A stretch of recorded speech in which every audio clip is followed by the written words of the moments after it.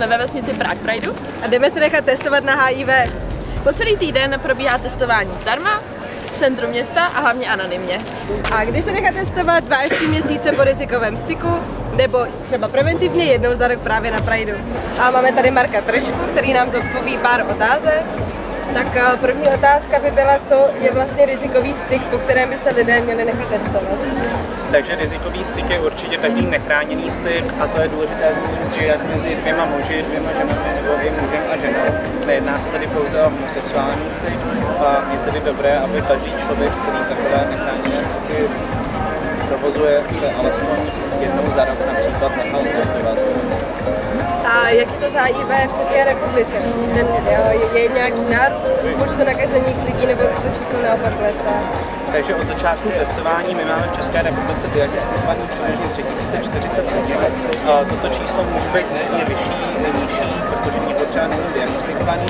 A v poslední době po takovém krátkém znovu začínají narůstat tyto čísla. Nicméně řekl bych, že je to spíš z toho důvodu, že jsou lidé více informovaní, více se nechávají testovat a protestovanost je tedy vyšší. Tak jo, tak jsme tady, předvyplnila jsem si online dotazník a teď jdeme na to. I když se bojíte, jako třeba já se bojím, tak to se to určitě stojí. Tak, odezinfikujeme to. Už to je. Dá se to zvládnout, i když se bojíte. Se vám tam sakujou.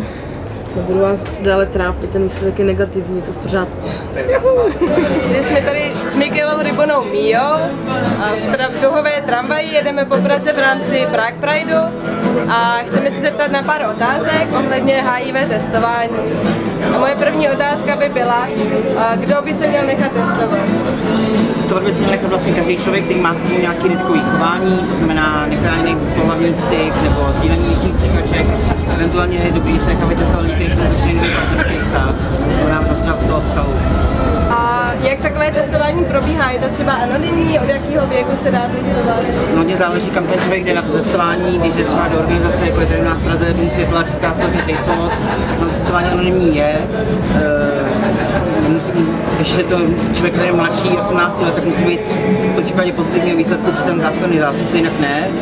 A tam je potřeba e, vlastně ten člověk, když je po nějakém riziku, tak tři měsíce od toho rizika na ten test šel. A zase, nepřemýšlel bych nad tím, jestli, e, jestli to bylo špatně nebo dobře, to riziko prostě stalo se, tak je potřeba to řešit. Jo, není na tom nic špatný, je to, je to prostě sex, nebo když je to, sex, tak a ty testy jsou bezplatné nebo si musí něco hradit?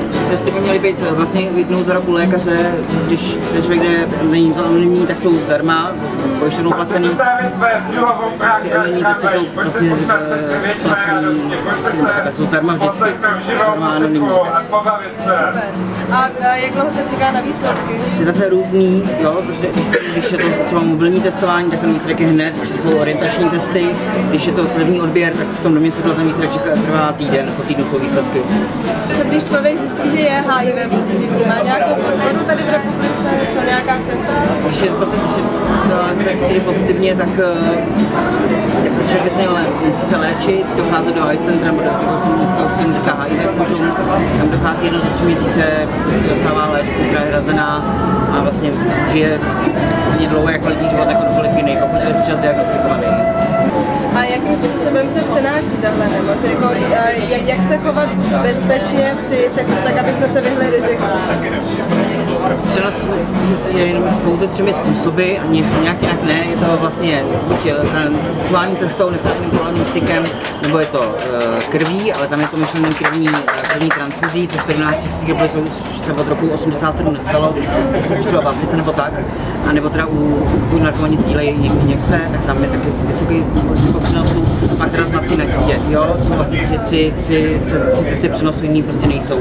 Co se týče přenosu krví, tak lidi se kolikrát dostanou různý ale, třeba že komáři, že sajou krev, tak prostě když se pak na někoho dalšího sednou, ne, to že to to HIV nepřinášejí. A jakýkoliv jako jiný způsob, že budu a kápnu na mě z nebe kapka pozitivní krev, tak je větší pravděpodobnost, že mě srazí auto, než že mě kápne pozitivní krev. Vlastně rozdíl mezi tím být HIV byste vysvětlit ten rozdíl? HIV je vlastně to, to, co se přináší ten virus, to je vlastně virus, který způsobuje postupný selhání imunitního systému a AIDS je vlastně souběh několika onemocnění, které jsou vyvolaný tou poruchou, tím, oslabením té imunity.